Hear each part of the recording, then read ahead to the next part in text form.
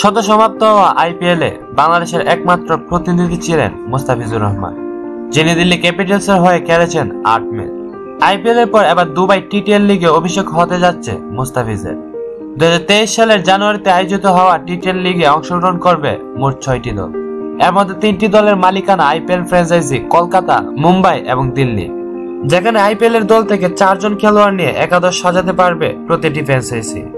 Delhi Capitals এর প্রধান পৃষ্ঠপোষক কিরণ কুমার জানান, টিটেল লিগের জন্য ছয়জন খেলোয়াড়ের নাম ঘোষণা করেছে দিল্লি, যেখানে নাম উঠে এসেছে বাংলাদেশি পেসার মুস্তাফিজুর রহমানের। দিল্লি ক্যাপিটালস এর ওয়েবসাইট থেকে নাম প্রকাশ করা ছয় ক্রিকেটারের ভিত্তি মূল্য ধরা হয়েছে এক লাখ ডলার। বাংলাদেশি টাকায় যার মূল্য প্রায় এক কোটি।